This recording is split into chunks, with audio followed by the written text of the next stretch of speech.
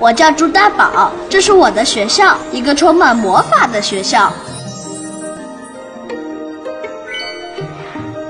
悄悄告诉你，我们学校的老师都有超能力。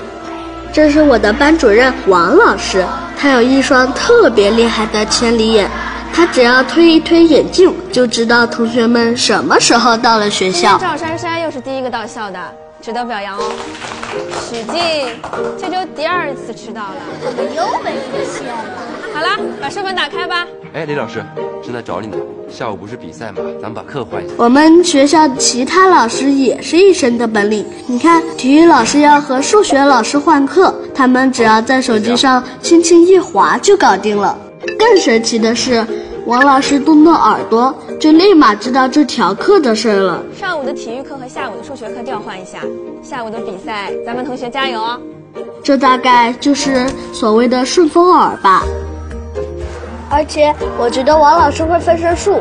你想，王老师不仅是我们的班主任，还是我们的语文老师。他平时要上课、开会、批卷子，一个王老师怎么忙得过来呢？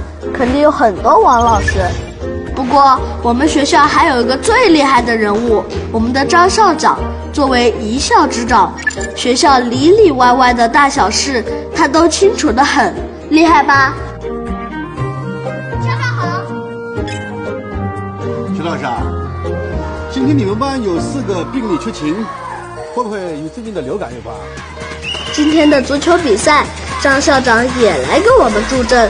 王老师也不像早上那样严肃了，他现在就是我们的超级粉丝，甚至还震慑了我们的爸爸妈妈。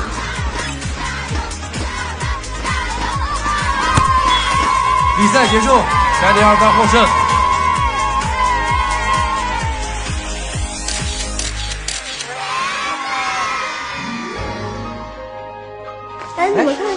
哎，你看这是谁？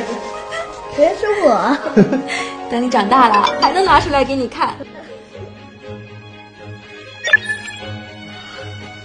语文小考成绩不错嘛，儿子，真棒。对了，我猜在我们的学校里一定藏着一个神秘的魔法源头，是他给了王老师超能力。让王老师可以更轻松的完成工作，有了更多的时间和我们相处。他也让爸爸妈妈走进了我们的校园生活。他甚至还能替我们存下好多好多照片。